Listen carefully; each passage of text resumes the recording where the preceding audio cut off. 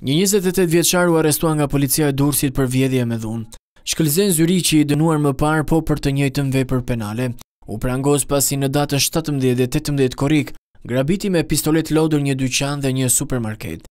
I riu siç shihet edhe nga pamjet nën kërcënimin e armës lodër, u merr lekët në kasë shitësve më pas largohet me shpejtësi.